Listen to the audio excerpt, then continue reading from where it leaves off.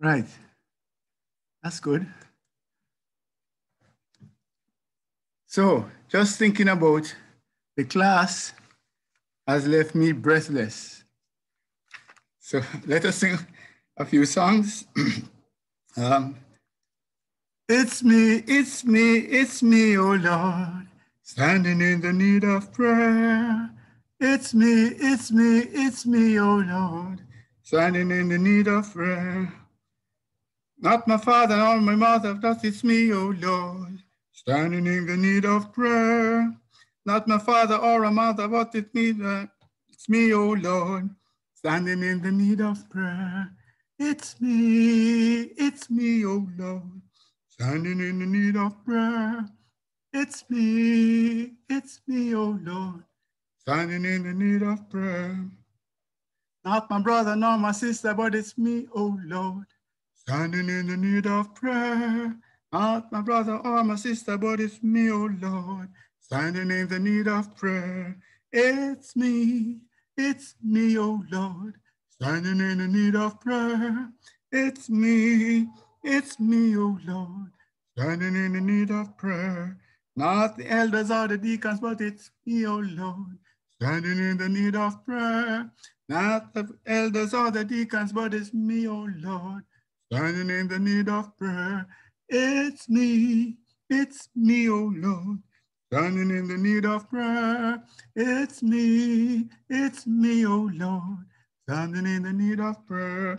Not my neighbors or strangers, but it's me, oh Lord, standing in the need of prayer. Not my neighbors or strangers, but it's me, oh Lord, standing in the need of prayer. So it's me, it's me, oh Lord, standing in the need of prayer. It's me, it's me, oh Lord, standing in the need of prayer. If you only knew the table. Oh, yeah, sorry. If you only knew the blessing that salvation brings, you would come to the feast today, for the door is open wide and the Savior bids you come. There is nothing you have to pay, so be wise and step inside, and do not be like those who have thrown their only chance away. Seek ye first the kingdom of God and his righteousness, and all these things shall be added unto you, singing hallelujah, hallelujah. Ask and it shall be given unto you. Seek and ye shall find. Knock and the door shall be opened unto you. Singing hallelujah, hallelujah. Man shall not live by bread alone, but by every word that proceeds from the mouth of God, singing Hallelujah, Hallelujah, singing Hallelujah, Hallelujah.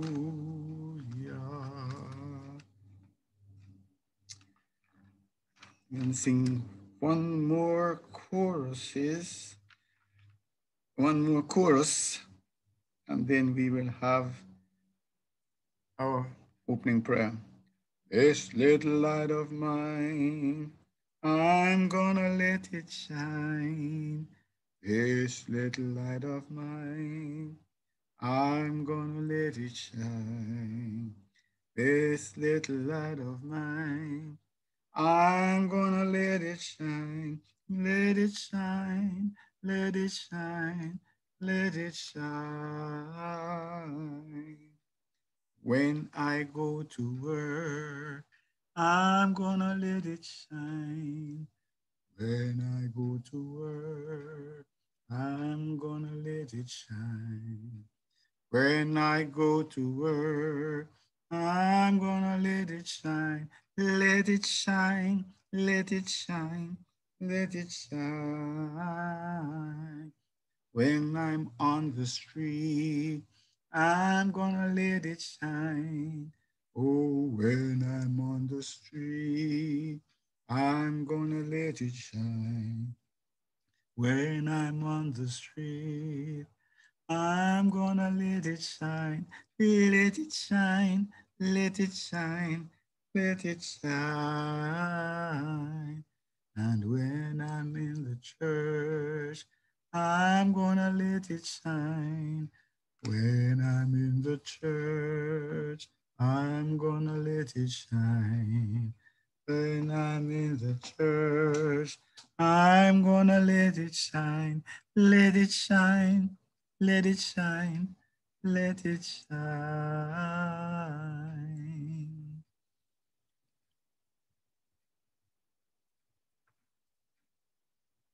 Now, have a word of prayer?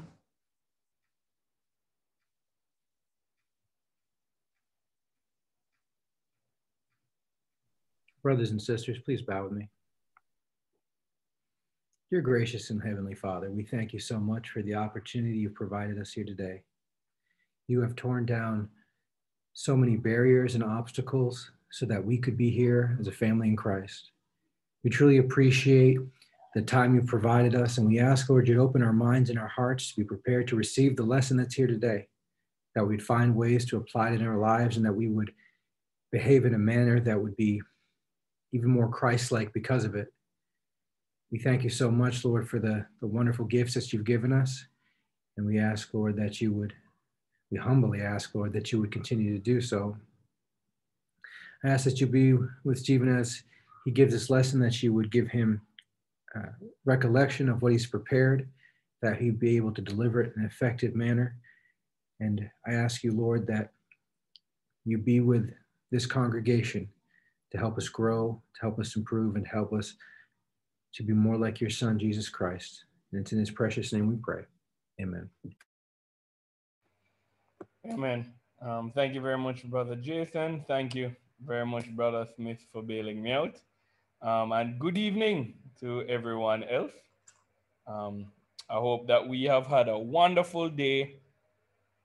And even if it hasn't been the most wonderful day, I'm praying that it will take a turn for the better starting now. Um, another privileged opportunity for us to, to join together and to study God's Word. Um, it's been a really enjoyable time for me. It has allowed studying the Bible um, to, don't want to say to take, be more routine, but to be more disciplined. Um, having having no choice but to ensure that I go through the material before I teach it has at least um, reinforced the importance of, of studying on a consistent basis. And the classes have made it very easy to, to, to take on or to undergo that practice. I really want to thank you guys for helping me to grow in that regard. And I'm hoping that what we have been going through has helped you at least even marginally to to grow closer to Christ. The study, as per usual, lost a case study. Luke chapter 15 is the source of our study, and the focus of our study is based on the parable of the lost sheep, lost coin, and lost son. And we have been looking at the lost sheep for quite some time, and the intention of our study is to surmise why the sheep ended up lost, because the Bible doesn't tell us specifically, to identify if we could get lost in similar ways, and then how to remedy if we have been lost in a similar fashion, or to ensure that we will not get lost in that similar fashion. And we've been looking at the past few weeks at what we've described as climber's condition, and this is um, when correlated, a circumstance where disturbances, whether personal disturbances that we are dealing with, whether interpersonal disturbances that occur between us and our brothers in Christ, or external disturbances that occur outside of the body, have led us to feel as though we need to withdraw ourselves.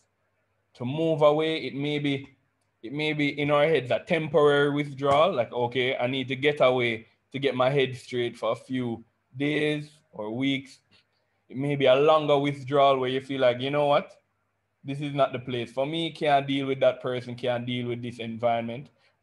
It may be a, per, a permanent withdrawal from Christ where you're like, okay, this Christianity thing not working out. And that's that's just it.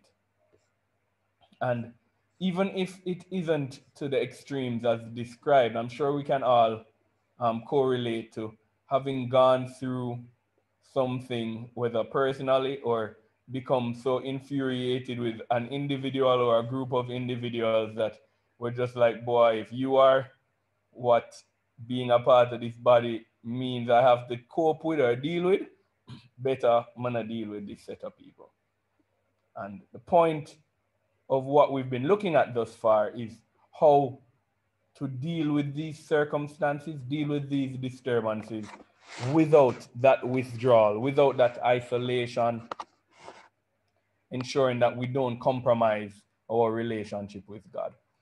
And we looked at three types of, of supports that we, we, we suggested could help dealing with our disturbances. The first one was scriptural support, um, looking to scripture to find the encouragement that is needed in, in dealing with these disturbances. We looked at sibling support, finding individuals in the body to help us to go through our hard times, to get assistance from when we're struggling. And then we looked at um, support systems, which is the idea of the church based on how it is founded, providing support to its members. So this goes out of just now the individual responsibility that we have as Christians and goes more to the responsibilities that we have as a church to one another to ensuring that we provide the support to our members and by extension to anyone who comes in contact with the church. and we're looking at Hebrews chapter 10 to put a nice little ribbon on, on all of these things that we have been looking at when it comes on to dealing with disturbances or climate condition for a better word. And Hebrews, we looked at, we read on Sunday from verse 1 through to verse 25. and since um, since I'm going to be referencing a lot of the passage thus far, and for those who may not have been there on Sunday, just going to ask if I can get some readers once more so we can just read through this before we start. All right, so thank you. So we have Lacon family, we have Sister Paula. Need three more hands, three. Kirk, thank you. Two more readers. All right, Britannia and Sister Smith. Thank you. All right, so Brother Jason or Lacon, whoever from the Lacon family are in yellow. Sister Paula, you're green. Kirk, you're blue. Brit, you're orange. And Sister Smith, you are pink. You can start us off, Brother Jason.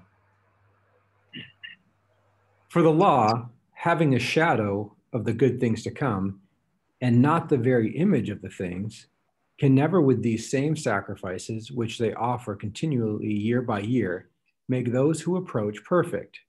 For then would they not have ceased to be offered? For the worshippers, once purified, would have had no more consciousness of sins. But in those sacrifices, there is a reminder of sins every year. For it is not possible that the blood of bulls and goats could take away sins. Therefore, when he came into the world, he said, Sacrifice and offering you did not desire, but a body you have prepared for me. In burnt offering and sacrifice for sin, you had no pleasure. Then I said, Behold, I have come. In the volume of the book, it is written of me to do your will, O God. Previously, saying, Sacrifice and offering, burn offerings and offerings for sin, you did not desire, nor had pleasure in them, which are offered according to the law. Then he said, Behold, I have come to do your will. O God, he takes away the first that he may establish the second.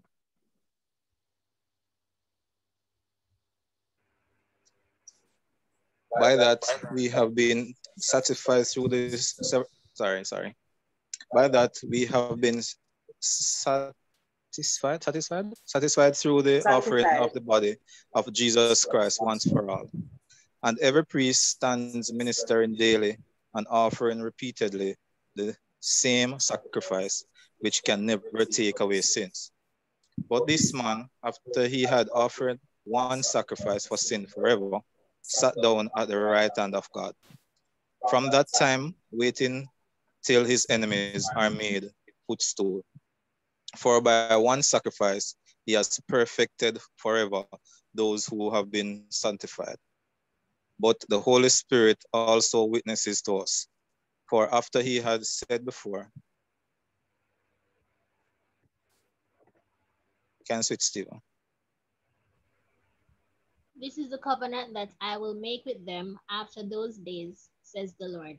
I will put my laws into their hearts, and in their minds I will write them. Then he adds, Their sin and their lawless deeds I will remember no more. Now, where there is a remission of these, there is no longer an offering for sin. Therefore, brethren, having boldness to enter the holiest by the blood of Jesus, by a new and living way which he consecrated for us, through the veil that is his flesh, and having a high priest over the house of God.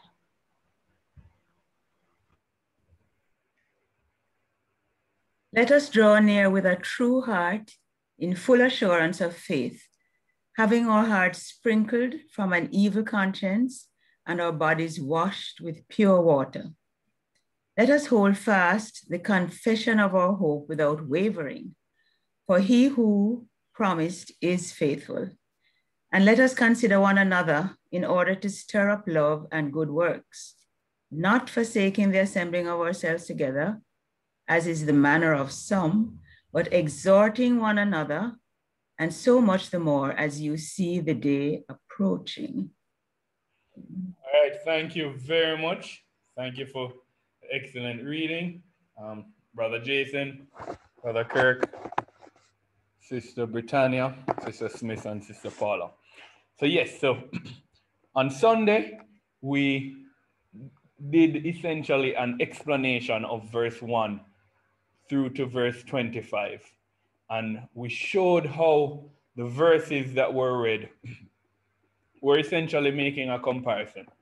We were making a comparison between the old covenant, which was an agreement between God and the Israelites, and the new covenant, which is the agreement with, between God and us individuals living now, anyone who lived after Jesus' death.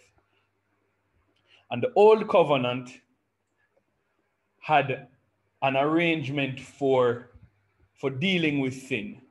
Sin being a violation of God's law. So when God established the old covenant with the Israelites, he gave them a set of laws.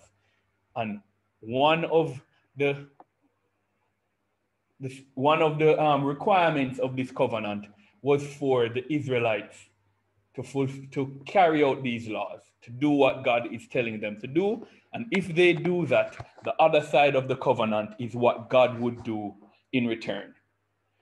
And while some of these laws, the breaking of them would lead to instant death, there are a lot of laws that there would just be relative punishments um, that were of a lighter nature. But all of the violations of these laws would have been sin because they would have been going against God's commands or instructions. And we know from a scriptural perspective that a penalty for sin must be paid. At the time, the arrangement for the covering of that penalty was through the sacrificing of the blood of animals. So, blood is a requirement. The animal blood was a requirement for the children of Israel to not be punished by God for the sins that they had committed. And the process through which this occurred was that on, for one day of the year, there would be a sacrifice made on behalf of all the people for the sin that would have been committed through that throughout that year. The high priest would go into the tabernacle. He would go into a particular location of the tabernacle, tabernacle called the holiest or the holy of holies. In that location, the Spirit of God would actually be present and the sacrifice for sin would be made. What we learn from this scripture is what this sacrifice did was essentially cover sin. So it would cover the sins of the Israelites. It would not remove it. There would still be a remembrance of sin. There would still be a conscience towards sin. And what this passage is showing is that Jesus Christ, in his death, he took on the role of both the sacrifice and the high priest. He interceded on our behalf to present the sacrifice to God, and his blood was the sacrifice. And what we found in these scriptures is that unlike the blood of bulls and goats and sheep that could only cover sin, the blood of Jesus, due to his innocence, due to his it being free from sin, provided complete removal of sin and the necessity of sacrifice. So, having died, Jesus' sacrifice played the role that made no further sacrifice necessary. So, we as individuals know, we as Christians know, have no need to offer any sacrifice for sin because Jesus' sacrifice covered that role. And we started looking at the implications of this information. So now having found out all of this, the writer of Hebrew wanted us to behave in a particular manner.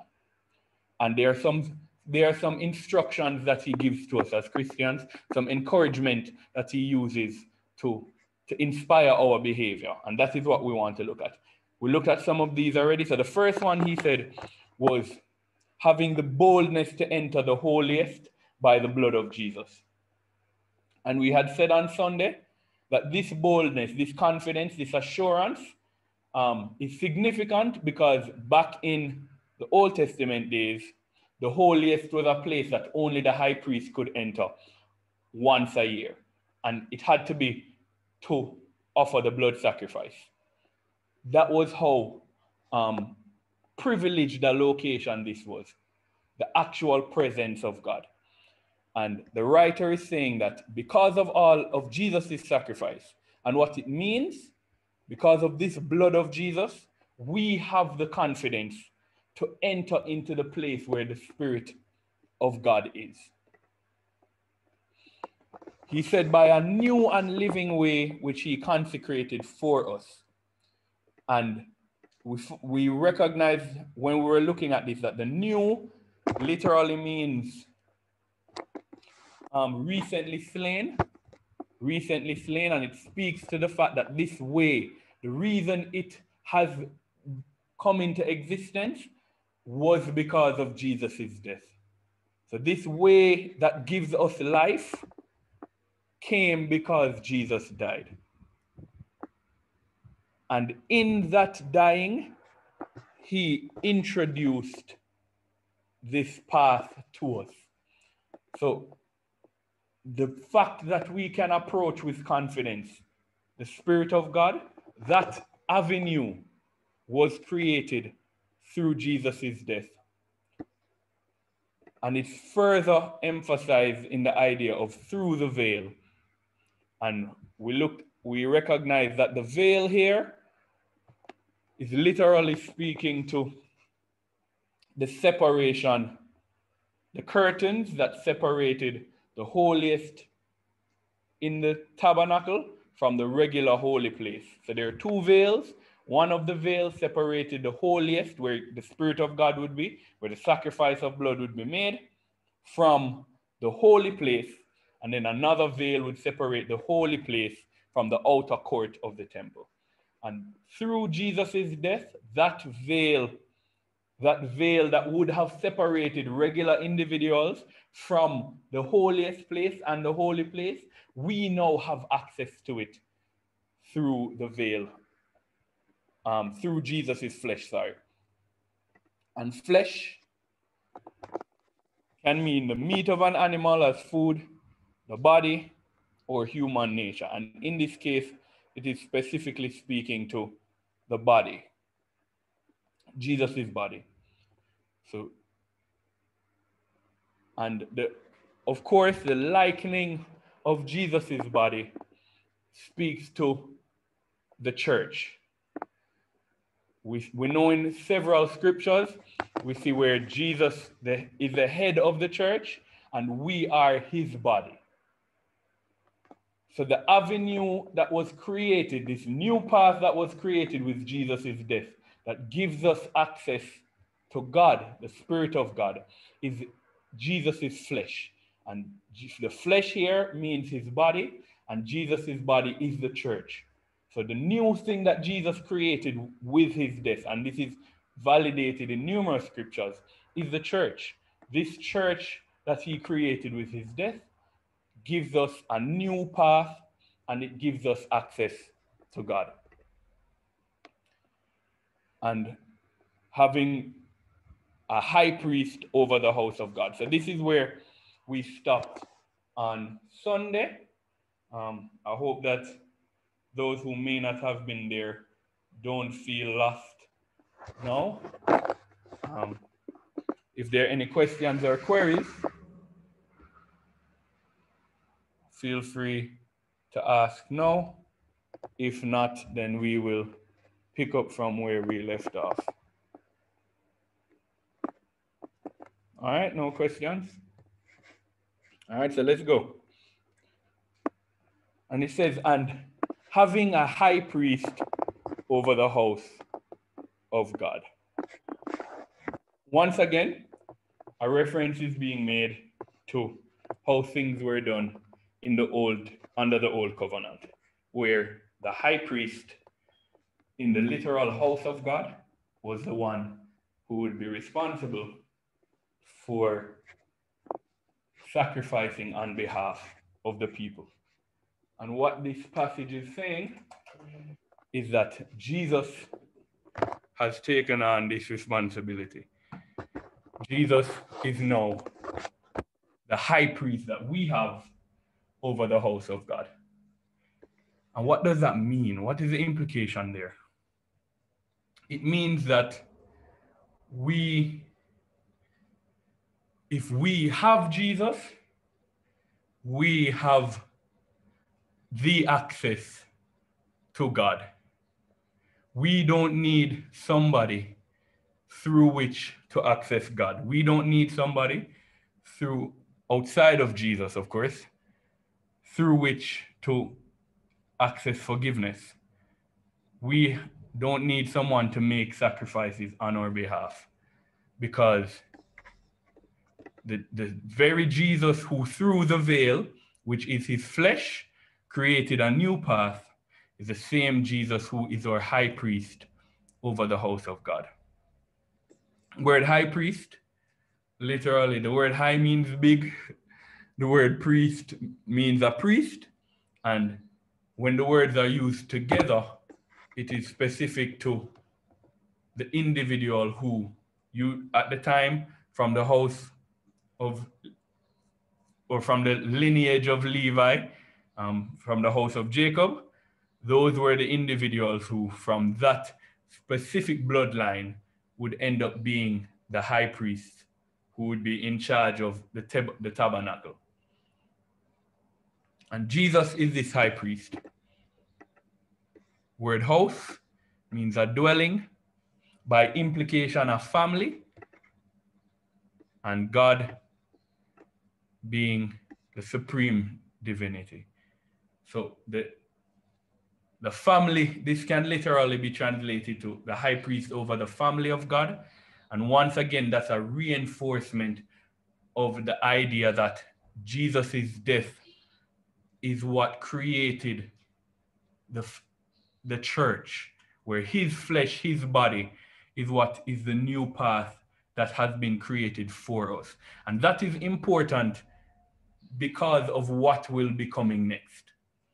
So when we look through the rest of Hebrews, this establishment, the importance of highlighting to the readers that Jesus' death created this body for, for individuals who would follow him afterwards is an important foundation for the things that he's going to encourage them to do later on. And if it's something that we don't take with extreme significance, then sometimes the message that is being brought forward afterwards will not be taken as seriously as we should take it. So let's see what is said after. So it says, let us draw near with a true heart in full assurance of faith. Let us draw near with a true heart in full assurance of faith. The word draw near, it means to approach. And in a literal sense, it means to come near or to visit. So to come near or to visit is a literal, literal term. And the idea behind it is to approach, go in the direction of to approach. And this is another. So the first the first encouragement that was given is to boldly enter the holiest through the blood of Jesus. And that was as a result of the confidence that comes from the fact that Jesus died and created this avenue. The next thing that the Hebrew writer tells us is to draw near, to draw near, to approach. And he says that we should draw near with a true heart in full assurance of faith. So, or drawing near or approaching should be done in two ways. One, with a true heart, and two, in full assurance of faith. What, what is he telling us now? What does this mean? What is this saying? Let's look at the words and see if we can get some understanding of what the Hebrew writer wants us, or how the Hebrew writer is telling us to draw near. Please note, figuratively speaking, it means worship. So a lot of the draw near, um, we have a lot of songs that use the terminology draw near, and it is literally in the use of worship. The word true means truthful or true. Gives the idea of honest, of having no no falsehood. Um, it says that which is not only the name and resemblance, but the real nature corresponding to the name. So that which is not only the name and resemblance. So, for example, if I tell you that um, I have a, a particular brand of, let's say a handbag, I'm, I'm selling you a handbag and you want a Prada handbag or you want a Gucci handbag. True in this sense, in this, if it's a true Gucci handbag, it wouldn't just be a Gucci handbag that has the name Gucci or looks like Gucci. So you might find a brand that look like Gucci, but when you look close, you see it's Gucci. And you say, boy, it resembles Gucci, but it's not really Gucci. Or you might find a bag that has the name Gucci on it, but it isn't made from by Gucci. So I decided to make a bag and put the name Gucci on it. So it has the same name, but it wasn't made by Gucci. Or it may look like it is the actual brand, but it's only in resemblance. It's not actually Gucci. When we think of this true, it means that in its nature, it corresponds to its name. So once you see the name, you know that the nature aligns itself with whatever that name implies. So you hear Nike, you know that it was made from this particular brand. You hear Toyota, you're not going to, you're not going to be a Nissan. You're not going to be a Prado.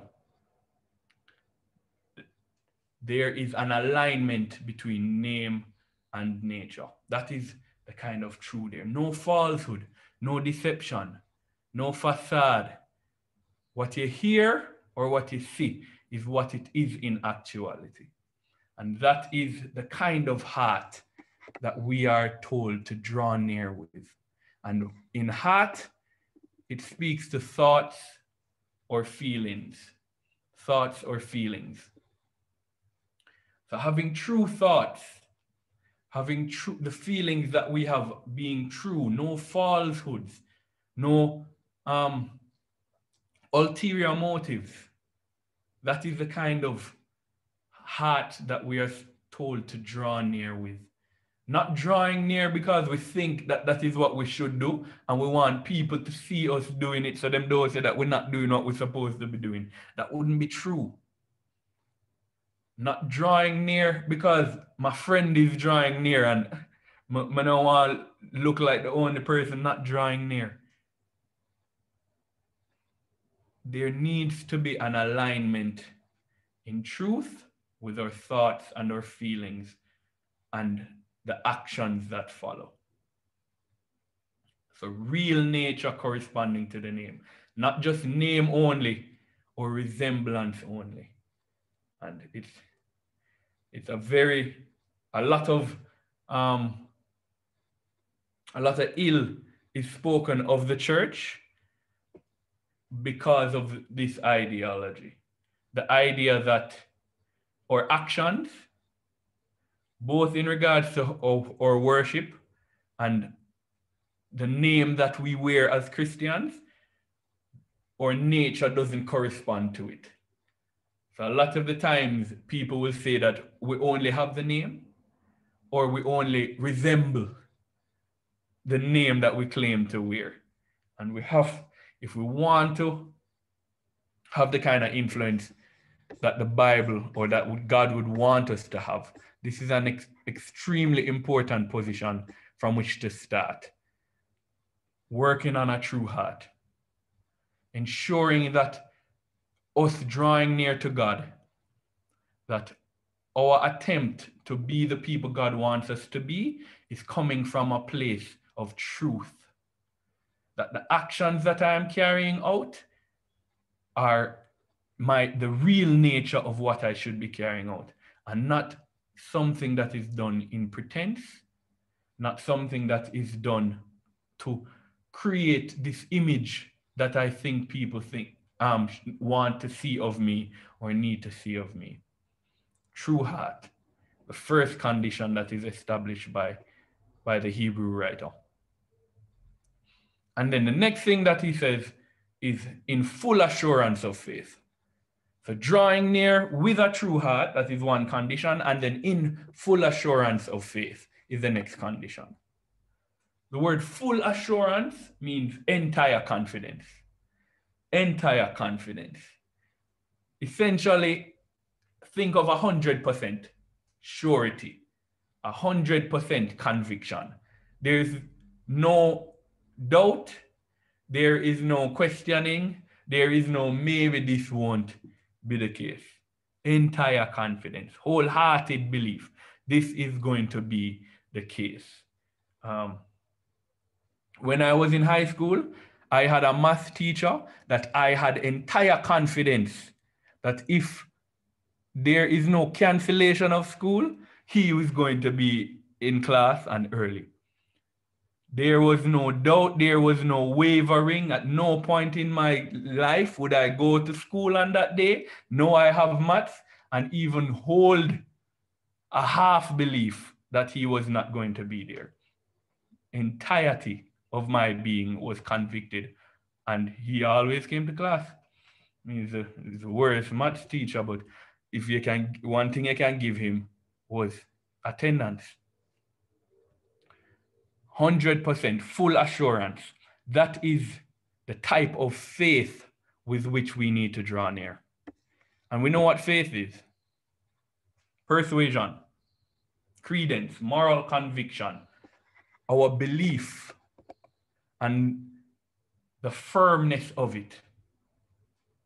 And that is, I think these two, these two um, conditions, I think, sum up, sum up the foundation of our Christianity um, very well.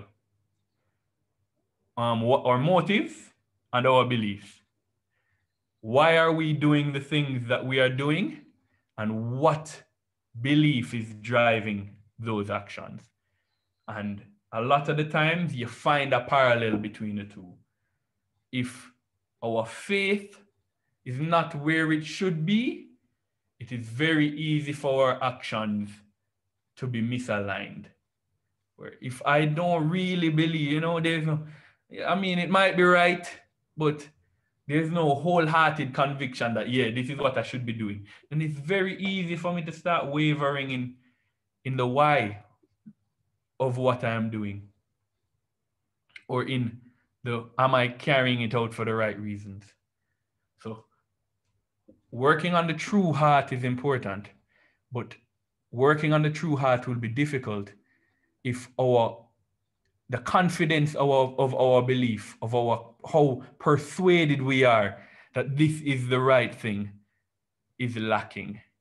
If I am not sure, if I am not convicted, if I don't believe that the way, the, the cause for which I live is sure, then it's going to be very difficult for me to stand true to that name. Because do I really believe it? Am I really convinced that this is it? So the, the writer recognizes that for, for us to achieve the things that he's going to ask us to achieve, this is the foundation point. Or drawing near, our worship to God, our approaching God. Remember, this is on the, on the ground that we are entering the place where God's Spirit is. We, our intention is to commune and interact with God and one another in this body that Christ has created for us.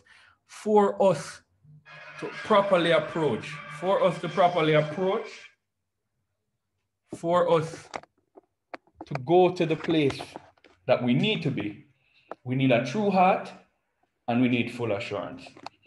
Any questions, any comments before I move on? Everybody following, I hope, in spite of my talkativeness.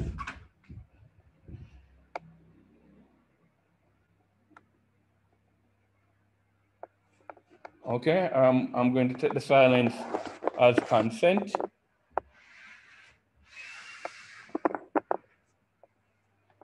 Right, moving on. Having our hearts, oh, something in the chat. Let me see what it is. Uh, Kirk says, oh, wow, Kirk, a long time I put this in the chat. My apologies. The concept of Jesus' sacrifice being eternally sufficient is a stumbling block for man. Attended a few churches in the past that believe that Christians should still carry out these feast days. Well, Kirk, um, I think that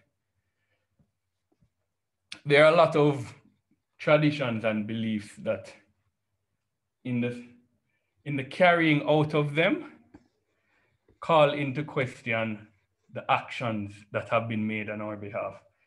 And I think sometimes our understanding of why these things are no longer required would help us to recognize that they are no longer required.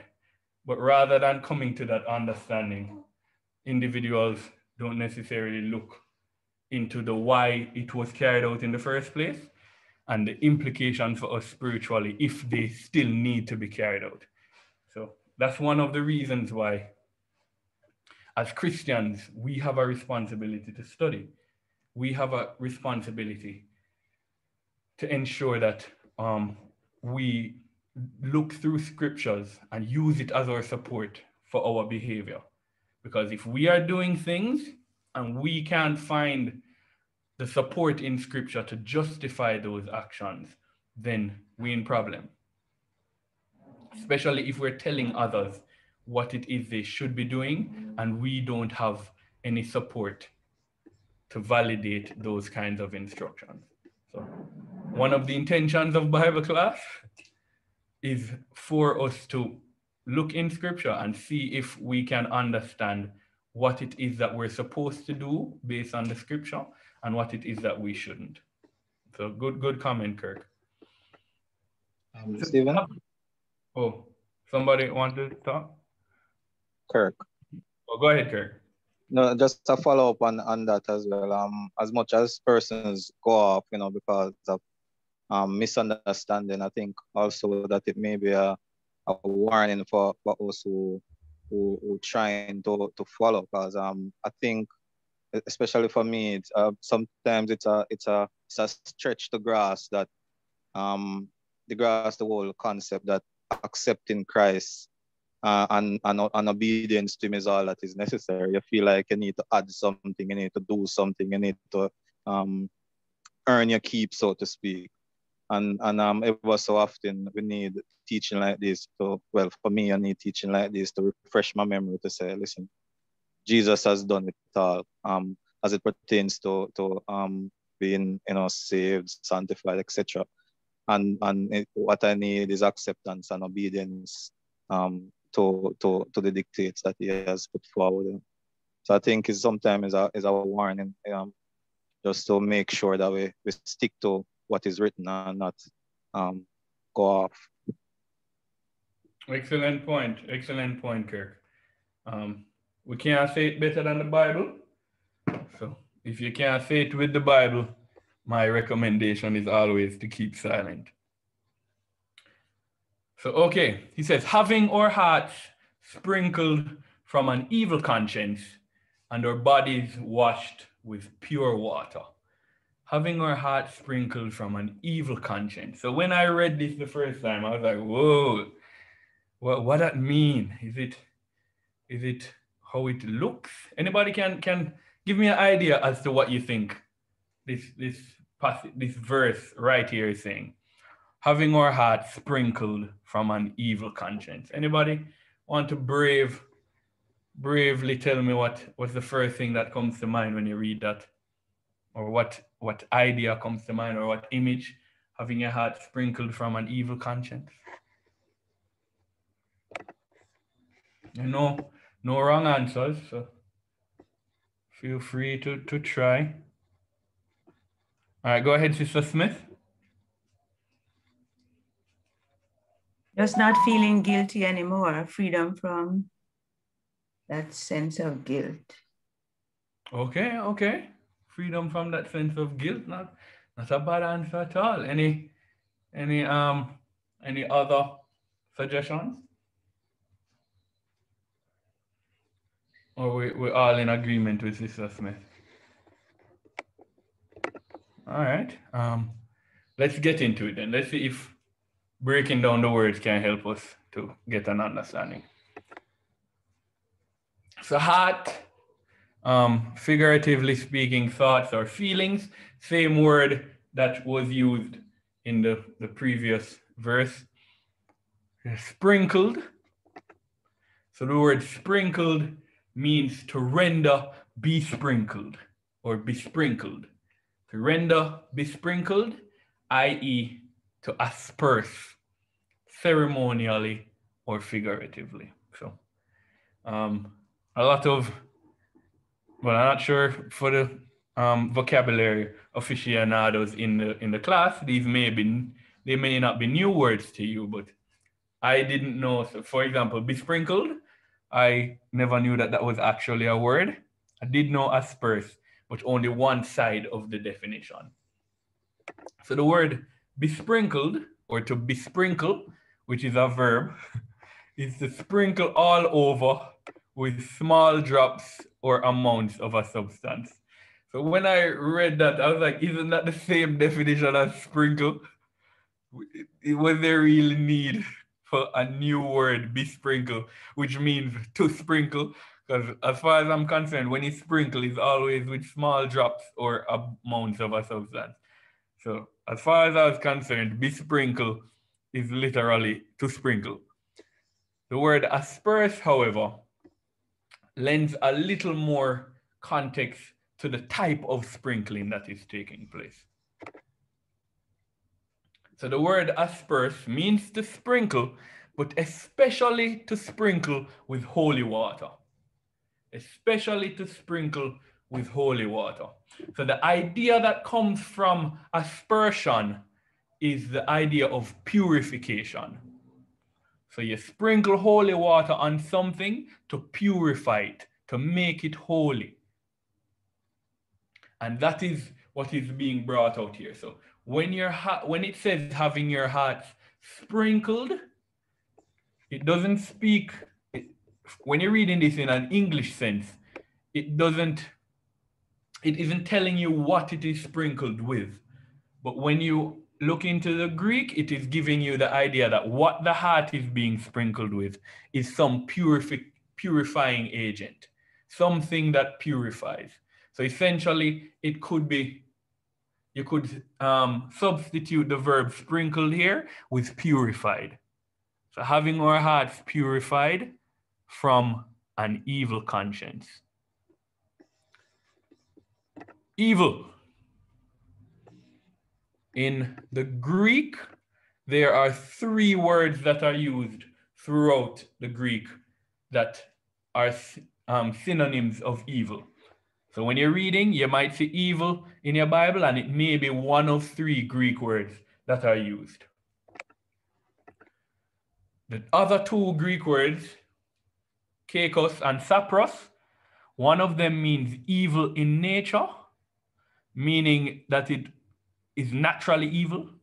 So it, it would probably used in reference to poison, probably used in reference to demons or demonic things, probably used in reference to sin. So anything evil in nature, in the essence of itself. Sapros, evil by corruption. So something turning into evil because of some other reason. So it never started out evil, but now it is evil because it has been corrupted.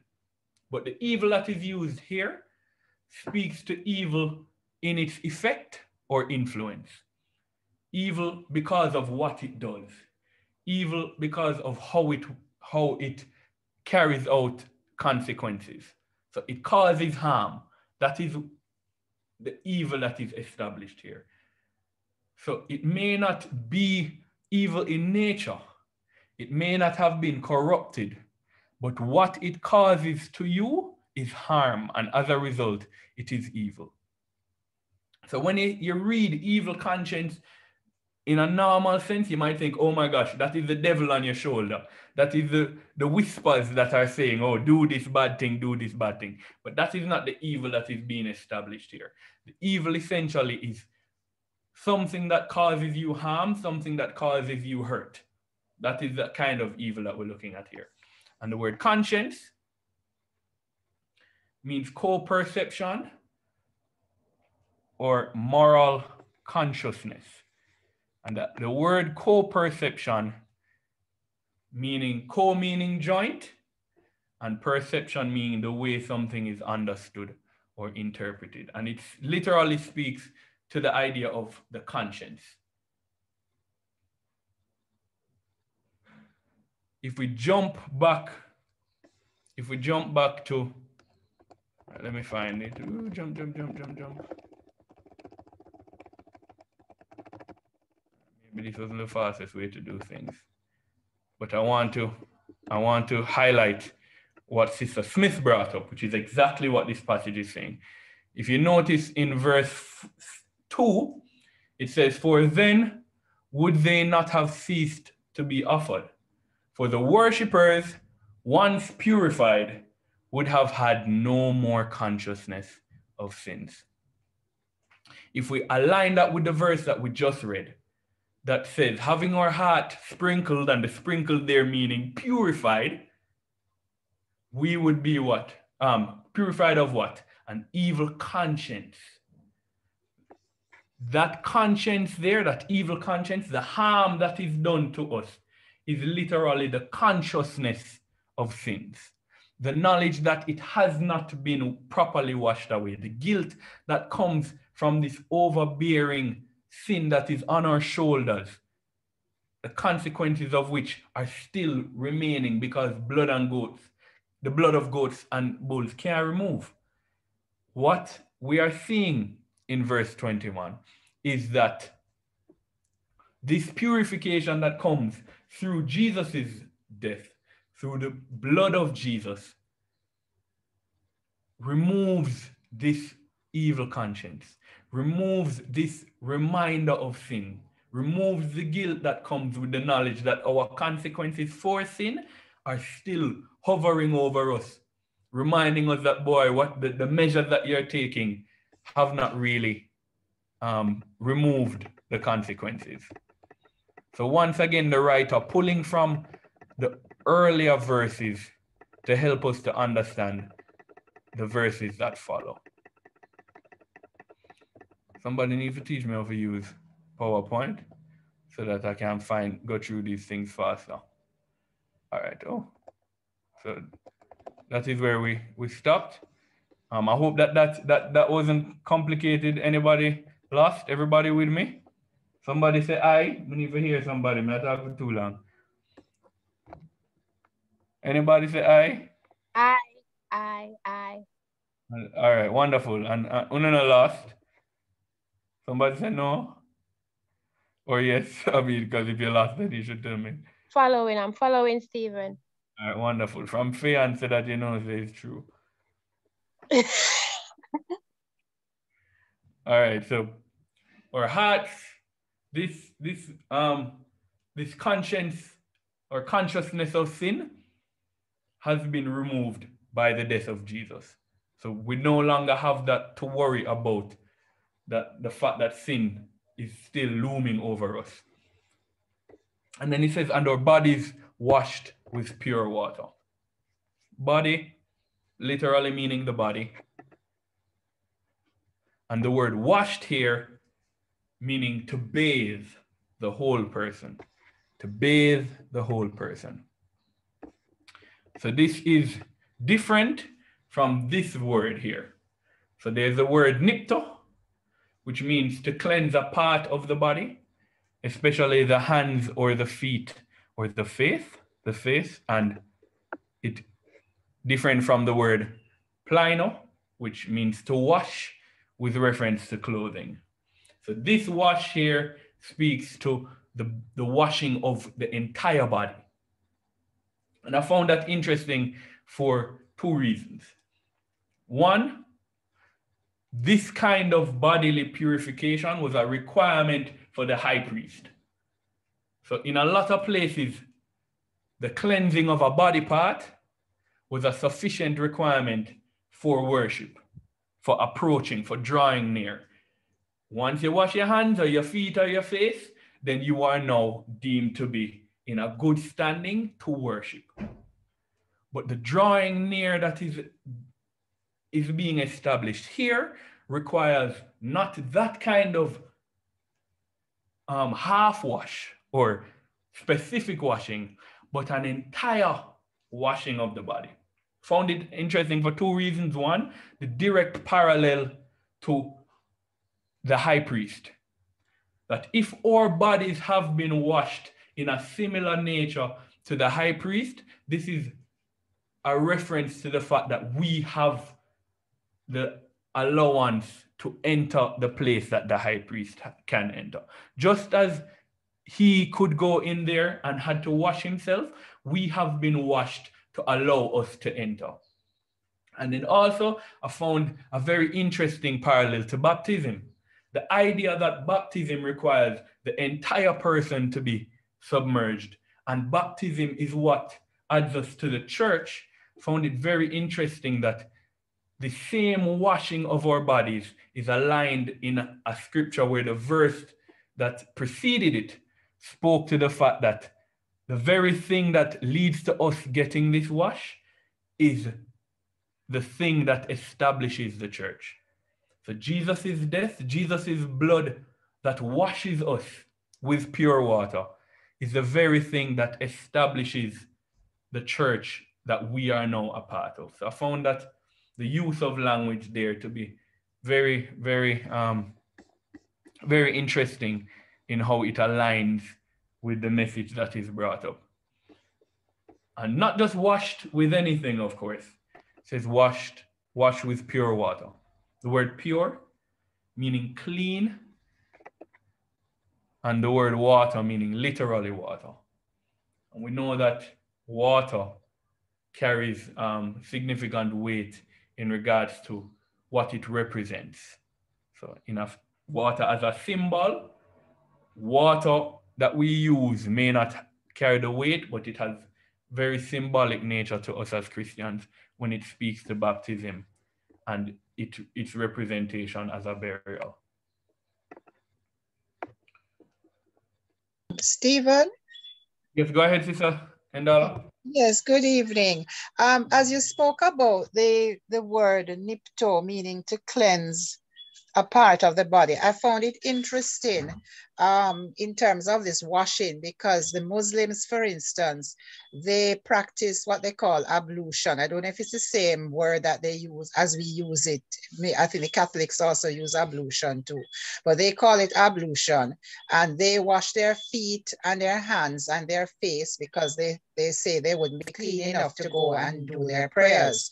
So they don't do a whole body wash they just do their, their, their feet. So they have to go into their mosque with, with clean feet and they leave their shoes outside. So I, I, I'm, I'm just wondering if this came from, you know, they from that particular practice and they still do that kind of thing in, in their Islamic religion. Okay, um, excellent point. I know, I know that it there also it's also a Jewish practice um, in certain, depending on, on what the feast day was, that type of, of washing would take place as well, where it would be specific to hands, feet, and, and face. But as I said, um, I found it, given that the full body washing is a requirement for the high priest in his entrance, I found that that correlation was very powerful in highlighting what we have been given as a result of Jesus' death. Because this, this passage is not saying that we should wash, you know. This passage is saying that we have been washed, that this is something that has taken place because of our interaction and our relationship with Christ. That washing is automatic. It's not something that we have to do after we have been um, have become Christians. It is something that we get that privilege um, is given to us. We don't have to wash our bodies not every time we want to talk to God because through Jesus' death, we have been washed. So very, very powerful, um, very important. Let us hold fast the confession of our hope without wavering, for he who promised is faithful. This is a passage that we looked at when we were looking at um, Habakkuk and we were talking about the foundation of the foundation of our confidence in God and it was it was twofold that God God will give us what God keeps his promises and that God is powerful enough to carry out his promises. So we looked at this verse in um, in depth there. So we're going to look at it again here. So hold to hold fast means to hold down to hold down, keep secure, keep firm possession of. So it, gives the idea of you putting your body weight on something to ensure that it will not leave you. Imagine you're trying to catch, you catch a, a, a dog or, or some animal that trying to run away and you're holding it down to keep it firm. Or you uh, I know I use the fighting metaphor. Let's people say may I give ideas in here, so let's stick with that. You're holding down something, it's, you're keeping it secure, you're keeping it firm. You don't want to lose it. You want to make sure that it stays. You're putting out all the effort to ensure that you keep whatever this thing is. That is the idea that comes from hold fast. There's an intense desire that is leading you to action to ensure that this thing will not leave you. This thing will not be lost. And what is this thing that we are supposed to hold fast? The confession of our hope without wavering. Confession of our hope without wavering. So the confession here, firstly, meaning an acknowledgement, literally a statement saying that this is so that is the confession. This is so. This is what it is. This is the case. And the confession of our hope, a profession, sorry, a confession, a profession, or a confession. And our hope, hope here means to anticipate, usually with pleasure. An expectation or a confidence. So the acknowledgement, the profession, the confession of what it is that we are anticipating, what is our expectation, what is our confidence.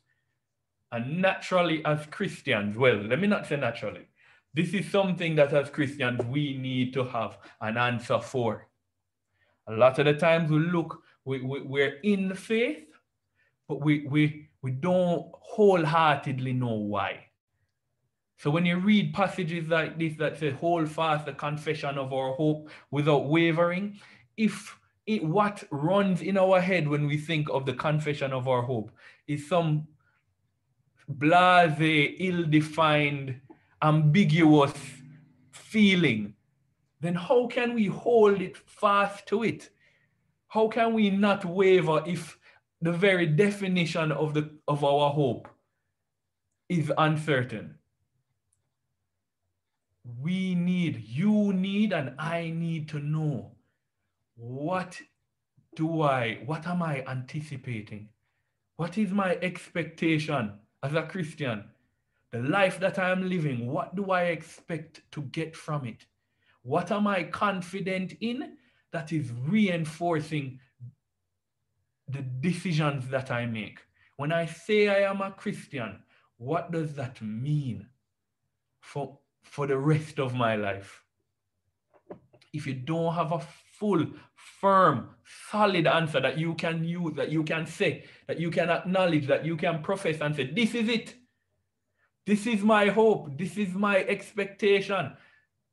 Then how can you hold fast to that? How can you keep secure what you're not certain of? How can you not waver when you're not even sure the direction that you're going in. If there is uncertainty now, this should be the first thing that we attempt to find out. What is it that I am expecting of this life that I am living in Christ? And if I am not in Christ, then what are my expectations? And can I get them outside of Christ? Because that is where the rest of this passage goes. The reason we should hold fast, the reason we should hold fast and without wavering, and the idea be, behind the word without wavering means not leaning, firm, unmoved. There is no need to rest on something else. I'm not, I'm not bending to one side or the other. Firm, the reason we can do this, the reason this is okay, is because he who promised is faithful. And the word for here means the reason that or on this ground. So this literally is telling us that the ground for holding fast without wavering, the reason we can hold fast without wavering is what follows the for. And that is he who promised is faithful. The word promised means to announce upon, assert something respecting oneself. So, the, so God being the one who has asserted something respecting himself or has announced is or to promise to engage voluntarily is faithful. And faithful here meaning that they are trustworthy. God who promises can be held to his promise. You don't have to worry that the promises of God will not come to pass. And that is the reason, that is the ground upon which we can hold fast to this expectation without wavering. But how? How can I? If I don't know what he asserts of respecting himself. So if I don't know what God is saying he will do, if I don't know what God is announcing, if I don't know what it is that God is promising me, how can I hold fast? And a lot of the times, the, the wavering that takes place comes from our ignorance of God's word. And that makes sense. It's, it's like a politician. If a politician, I know, I, I know that a lot of people, for example, were when Obama became the first um, black president, there are a lot of people in Jamaica who were rejoicing, um, rejoicing of the idea that um, we have reached a point where skin color would not um, hinder the individual from becoming the president. And that's wonderful. The idea that someone, given what things were like, that's a, a wonderful undertaking. But every time I asked the Jamaican why they were um, why they were happy in regards to his policies or what did they think would make Obama a good president, they couldn't answer me. Why? They had no idea what his policies were. They had no idea what his promises were. They had no idea what he said he was going to be bringing into fruition. So it was literally an a sad statement because of the color of his skin. And that, that is not necessarily the best grounds to be starting from. But the idea is to if for individuals who are following politicians from a just position to to hold fast without wavering to the promises of these people, they have to know what the promises are and they have to believe those promises. If them tell me, say, boy, if I'm sure if a politician said today in Jamaica, say, oh, the internet flow and digital, internet will get good and taxes going drop and curfew going lift tomorrow, a lot of individuals would rejoice if they believe that these things are going to come to fruition. If they don't believe, then it will hold no weight to them. There's another politician that attack. We need to firstly know what God is promising us, and we need to believe that He will carry out those promises. Once we establish those two things, the holding fast of our confession will become a lot easier. Um, Kirk, I see your hand. Go ahead. Oh, you gone? You gone? Change your mind or accident?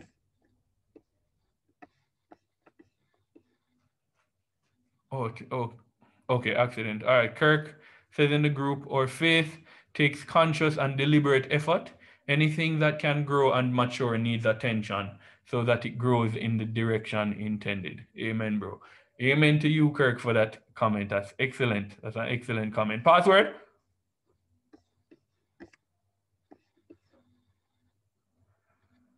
Go ahead, Sister Smith. There are two of them. Which one do you want? One is holiest. And there's another.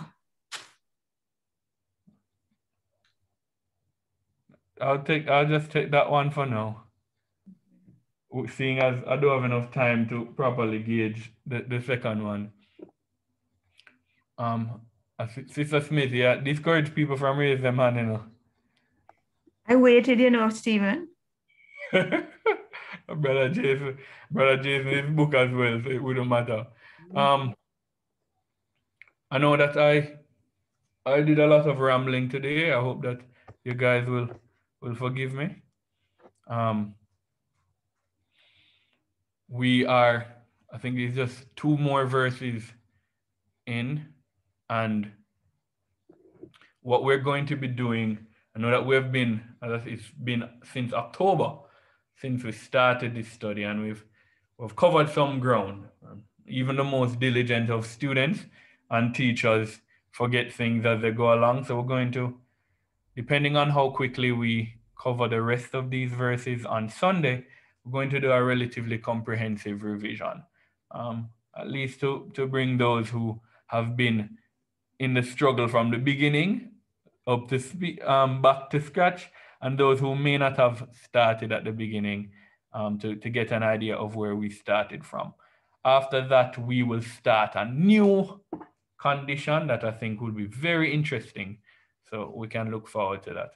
Um, the password for Sunday is let us hold fast the confession of our hope without wavering. I think this is the longest password that I've given, but it's about time. So let us hold fast the confession of our hope without wavering. Um, thank you very much once again. I hope that we learned something this evening and looking forward to class on Sunday. All right. If we're going to have the closing prayer now, so if you have any prayer requests that you want to share, anything you want us to pray on your behalf, feel free to either raise your hand and say it directly now, or you can type it in the chat I think. Like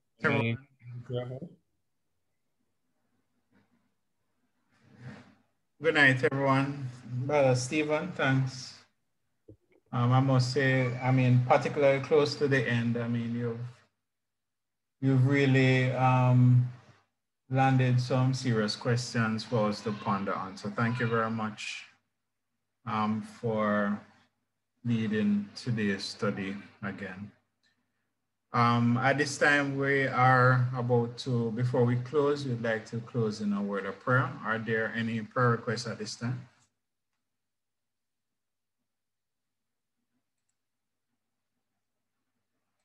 Any prayer requests? I'm seeing one from Philip. Oh, um, okay, one second. Oh, I'm not sure if it's a prayer request or it's a comment.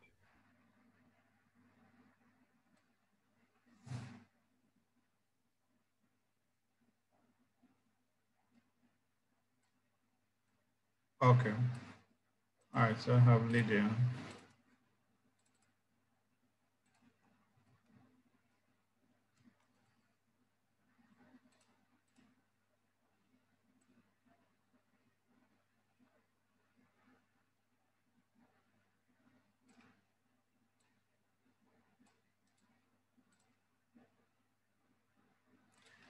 All right, um, if those are all the prayer requests, I to both me at this time.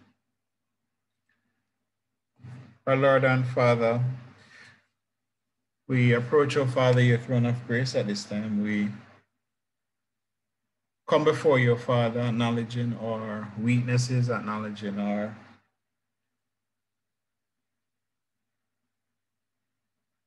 our dependence on you acknowledging the dependence that we have on your Son, his blood that continues to cleanse us from our sins. We recognize, oh God, that even as we walk, oh Father, this life, we pray, Father, that you will help us just to be mindful of our frailty.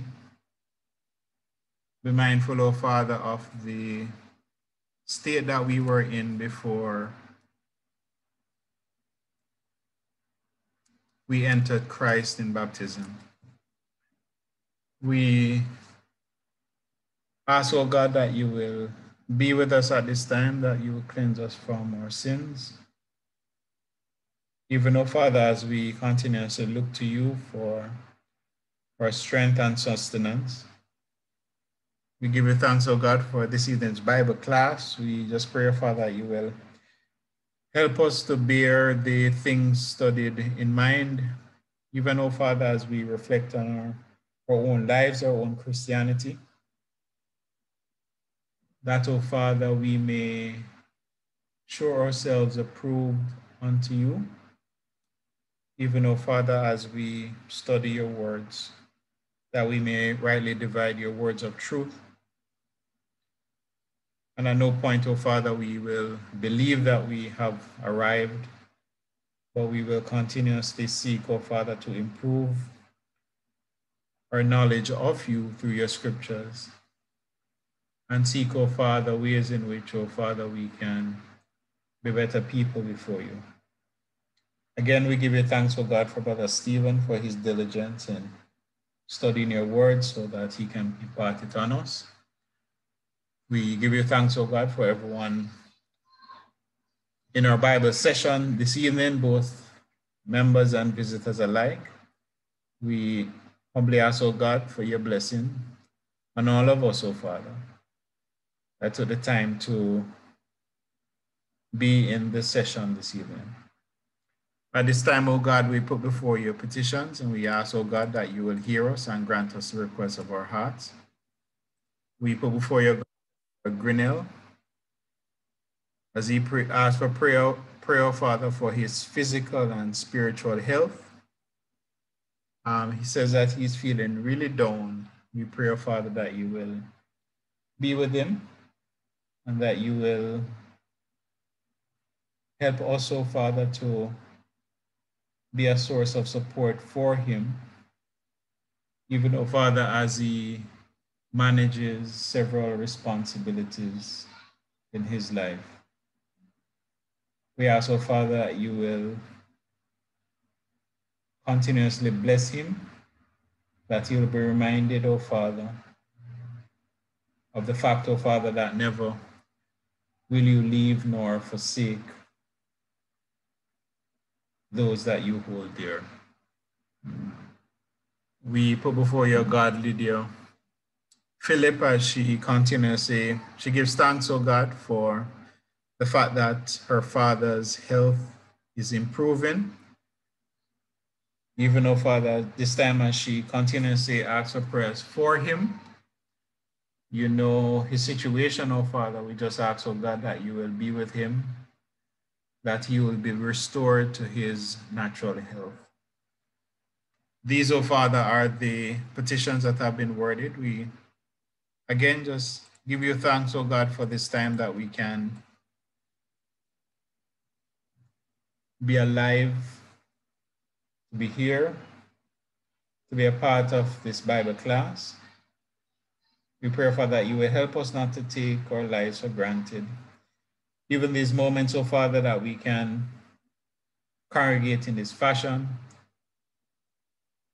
because we understand, oh Father, that many have not the opportunities that we have, whether through persecution or they, oh Father, have transitioned to the afterlife. We ask, oh Father, that you will help us to make each day count and that we will be a proper representation of you and what you would have of us as members of your church. Again, oh God, we just thank you for your blessings, for your love that you poured out on us on Calvary's cross.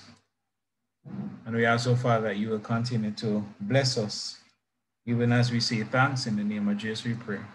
Amen.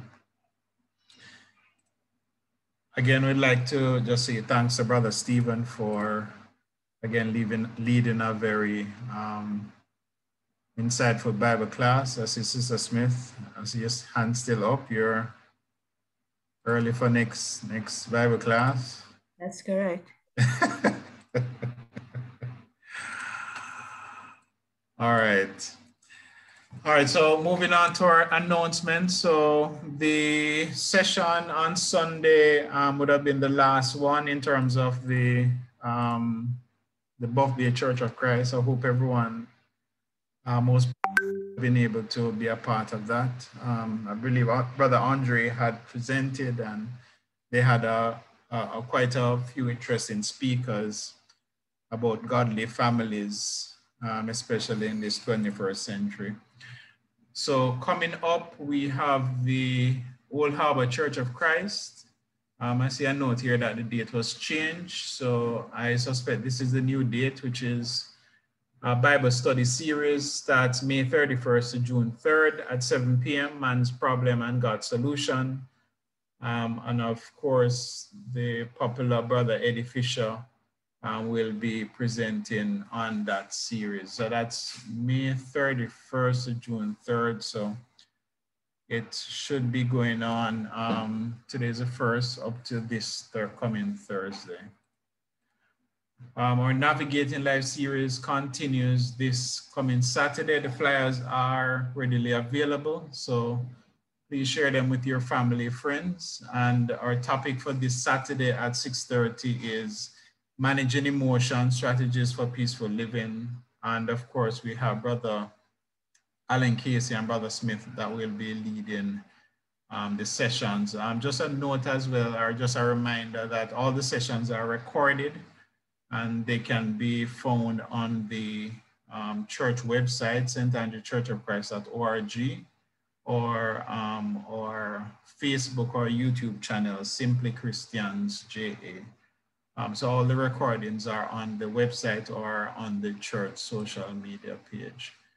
Uh, so the birthdays we have for this week is Sister Kim, Brother Grennell, Sister Grennell, um, so Sister Kim and Brother Grennell would be June 3rd. Sister Grennell will be on June 4th, which is Friday. So um, bear those in mind so that we can reach out to these brethren and wish them all the best for their birthdays. Um, there is, no, I don't see any anniversaries for this week.